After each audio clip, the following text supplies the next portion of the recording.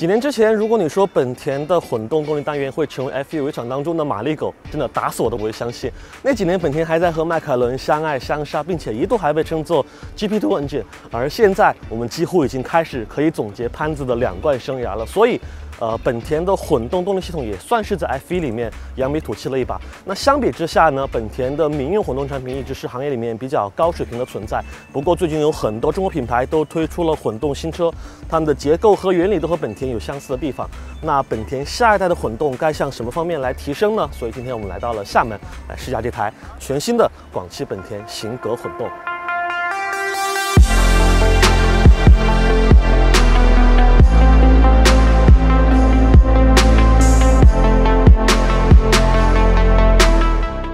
前段时间呢，本田是调整他们在国内的混动系统的传播名，从 Sport Hybrid 的锐混动变成了现在的 eHEV 强电智混。那这样的调整呢，显然是为了强调他们这套混动系统的含电量，因为本田的混动一直呃都是在绝大多数工况下都靠电机来驱动，这样的话带来了一个很好的动力响应和一个很爽朗的动力输出。那这也是本田的混动的车型开起来会很有驾驶乐趣的主要原因之一。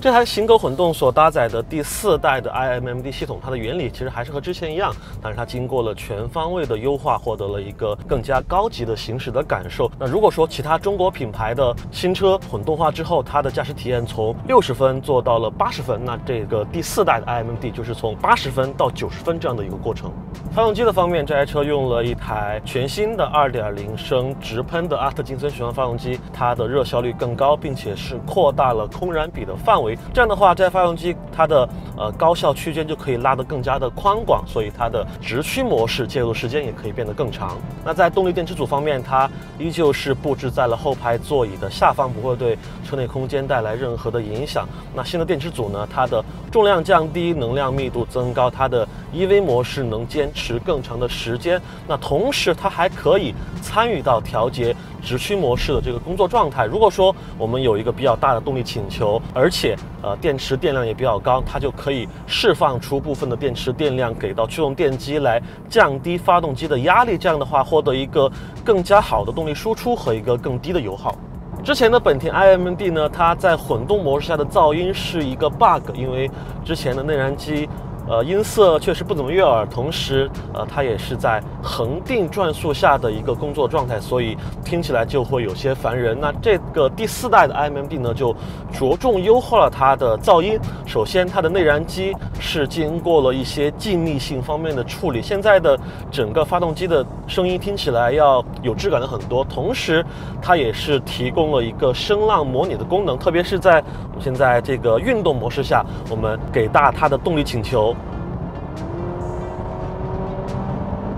它会模拟出燃油车那种换挡的感觉，呃，这种韵律感。同时，eCVT 也会配合这种节奏。既然噪音无法彻底的压制，就不如把它从那种难听的、呃固定频率的一个噪音，转化成一个带有节奏感的、很悦耳的声音。我觉得这是一个很有意思的解决方案。这台搭载第四代 MMD 的型格混动版的，它的几乎全方位的工况都要比本田之前的混动系统车型表现更好了。它的 EV 模式能坚持更长的时间，混动模式下的行驶质感更好，同时高速的动力表现也更加的出色。那本身我觉得燃油版的型格，它的底盘就比时代思域进步了很多。那这台混动版又有电池组作为一个压舱物，重心更低，那理论上来说会有一个更好的。操控的表现，那这台车它的沙踏板的脚感，包括转向手感以及悬架的调教，都继承了燃油版型格一个很高水平的表现。再配合这套我觉得非常棒的混动系统，这台车的行驶感受毫无疑问是一个越级的存在。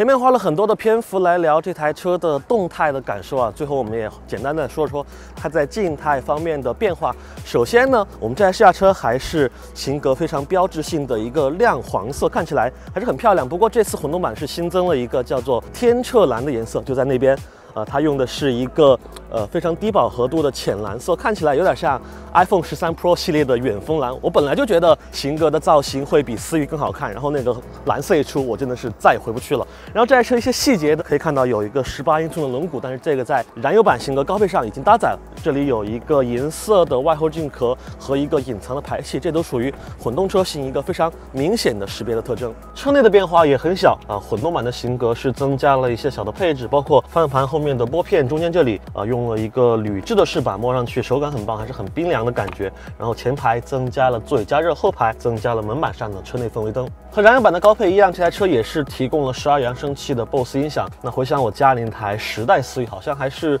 六扬声器，那现在是足足多了有一倍。那这个配置放在紧凑型车当中也是非常少见的了。该如何来定义这台车？我觉得高级版的型格算是一个比较贴切的描述。它现在真的一点都不烂仔，你不能指望通过省油油来回本，因为这台车说实话也不便宜。呃，参考隔壁思域混动价格，它的落地价也是奔着二十万去了。用雅阁的钱买型格，你会得到一个全方位更好的驾驶感受。那省油只是附赠的而已。再说的明白一点，有的小伙伴他们就是喜欢这种好开好停的紧凑型车，他们对于驾驶性有着很高的追求，但是预算又比较的充裕。那我觉得这台型格混动就是给你们准备的。OK，感谢您收看这期的鱼的选车，我们下期再见，拜拜。